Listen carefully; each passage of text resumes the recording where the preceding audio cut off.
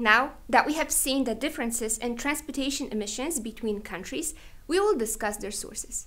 There are two types of transport emissions the exhaust and the non exhaust emissions.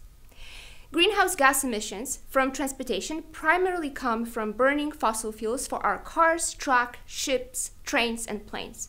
Majority of the fuel used for transportation is petroleum based, which includes primarily gasoline and diesel. In addition to the fuel type, there are other sources of pollution in transport.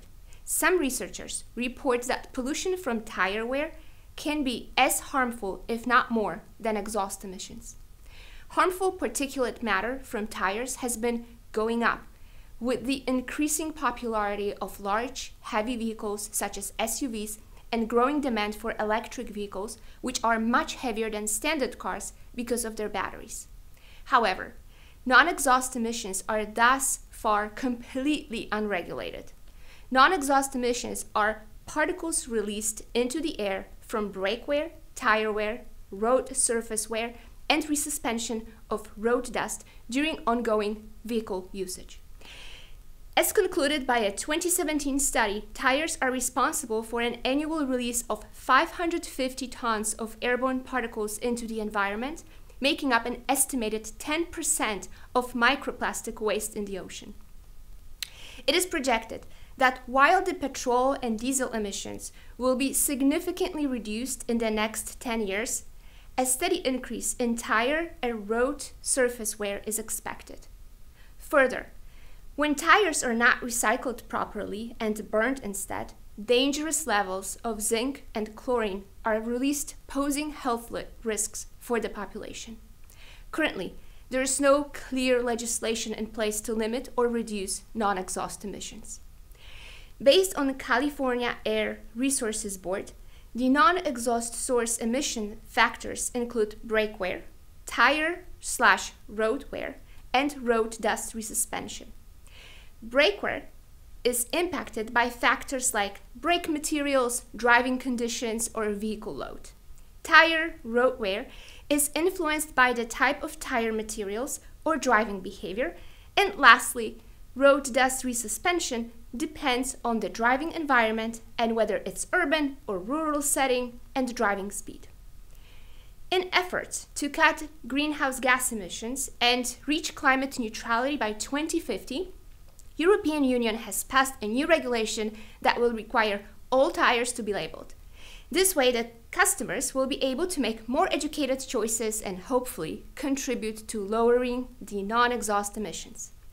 Additionally, European Product Registry for Energy Labeling database was designed. In this database, each supplier can register their tires before selling them on the European market. Suppliers could start registering the, their articles starting October 2020. However, consumers were able to access the database in May 2021. This database will be accessible to the public and will aim to educate the consumers. Each new label will include information on energy efficiency, which is indicated by letters from A being the most efficient to E having the worst efficiency.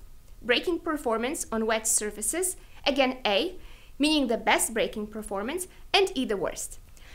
Followed by the noise pollution indicator and whether the tires are winter or Nordic. That are also called snow or friction tires.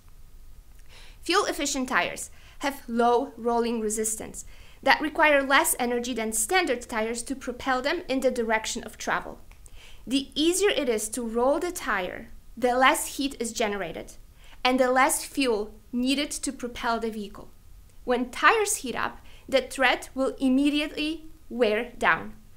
Although the exact fuel savings are not clear and will vary on the vehicle type, gas versus EV versus truck, the typical roll, rolling resistance tire should save somewhere between 1 and 4% per gallon compared to a traditional all-season tires that do not have the low rolling resistance features.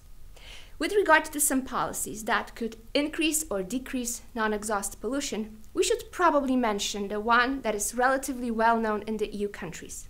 It states that all drivers are required to have winter tires in the winter season, same policy, however, does not indicate that non-winter tires are required in summer months. For financial reasons, some drivers use the winter tires in the summer months, which leads to increased pollution as the winter tires are not designed for hot temperatures and therefore release more harmful particles.